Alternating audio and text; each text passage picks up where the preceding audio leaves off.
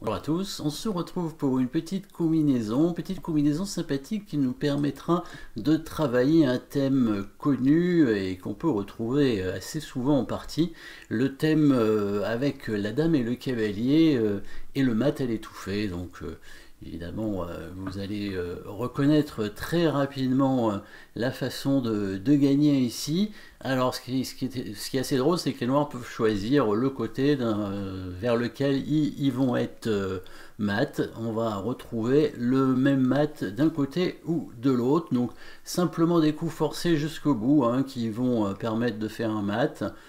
C'est un mat en quelques coups, 6-7 coups peut-être, toujours en faisant échec jusqu'au bout. Vous pouvez euh, chercher euh, assez, euh, assez facilement, assez rapidement et le trouver, je pense. Donc ici, bah, les blancs ont beaucoup de matériel en moins, donc c'est pour ça qu'ils ont intérêt à se, à se dépêcher hein, pour, pour faire des échecs. C'est bien le cavalier et la dame qui vont aider au mat. Donc on va commencer bien sûr par le coup de cavalier, le fameux coup de cavalier qui recule, hein, cavalier B5 échec. Donc, avec deux options pour le roi. Alors, puisque la dame hein, contrôle euh, beaucoup de cases hein, sur, euh, sur le roi ici, on voit les, euh, les, trois cases ici qui sont, qui sont protégées par la dame, M4, mais celle-ci est déjà protégée par le cavalier. Donc, le mat à l'étouffé, bien connu, c'est celui-ci. Si le roi se cache tout de suite, euh, n'hésitez pas à mettre la pause hein, à chaque fois pour trouver euh, le bon coup. Hein. Donc ici, la dame blanche va faire échec, bien entendu. Deux options. Pour faire échec, attention, il ne faut pas se tromper. Hein. Est-ce qu'on va prendre le pion ou est-ce qu'on va se mettre sur l'autre case en D6 Il faut se mettre absolument sur la case en D6. Pourquoi? Parce que la dame va attaquer la tour. Et ça, c'est très important.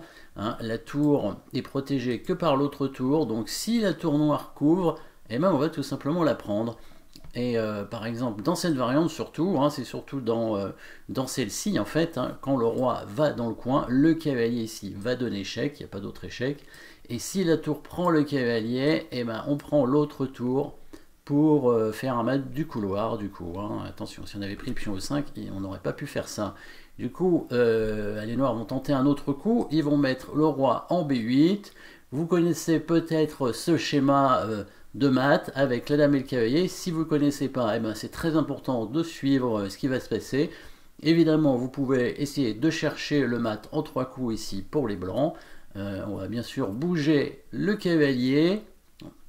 Mettez la pause pour trouver la bonne case pour le cavalier avec l'attaque à la découverte, attaque double, échec double plutôt, pour forcer le roi à bouger. Le cavalier qui vient donner échec et la dame aussi. Donc deux, double échec, le roi dans ces cas-là est obligé de bouger. Et là, on va faire un blocage. Hein. On va bloquer la case de du roi avec la dame pour pouvoir ramener le cavalier. La tour est obligée de prendre et le cavalier va donner mat. Donc un mat classique avec dame et cavalier euh, arrive de ce côté-là, euh, mat, mat en 6 coups, hein, à partir de la position de départ. Maintenant, on va voir l'autre variante dans laquelle le roi va aller dans l'autre côté, c'est-à-dire sur l'aile roi, bien évidemment. Donc le roi, il, a compris qu'il ne pouvait pas aller euh, sur l'aile dame, il allait se faire mater, donc il part de l'autre côté, il va en D8. Du coup, on continue évidemment à faire échec, il n'y en a pas un milliard hein, ici, hein, puisque la dame blanche n'a pas intérêt à se sacrifier, hein. attention, la dame noire est là, à veiller au cas où. Donc il n'y a bien qu'une seule case pour la dame blanche pour faire échec, donc là pas de problème.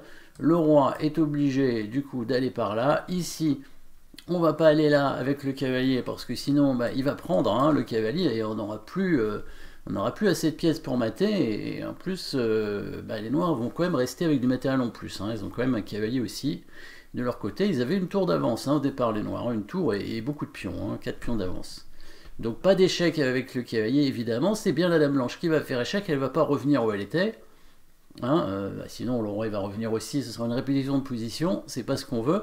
Donc, par défaut, eh ben, on prend le pion. Alors, l'intérêt maintenant de prendre le pion, bah, c'est que ça va ouvrir la colonne de la tour. Et eh oui, il y en a une tour aussi, hein, quand même, hein, de rien. Donc euh, là, le roi, euh, il a intérêt à aller sur l'aile roi, parce que sinon, il y a la tour qui va revenir très très vite en jeu. Par exemple, si le roi bah, tente de repartir, on va revenir avec la dame, le roi revient, et ici, voilà, maintenant que le pion a disparu, la colonne est ouverte, la tour arrive, et là, on va obtenir un nouveau mat, hein, un plus simple, hein, avec la dame et la tour. Hein. là, le roi est bloqué. Donc là, le roi noir est bien mat. Donc du coup, euh, bah, le roi noir va être obligé d'aller dans l'autre sens, c'est-à-dire vers les rois, en F7. On continue à faire échec, évidemment. Cette fois, la tour ne peut pas arriver parce qu'il y a la dame qui contrôle. Donc comme il faut toujours faire échec, ben, il n'y a pas énormément d'options non plus ici.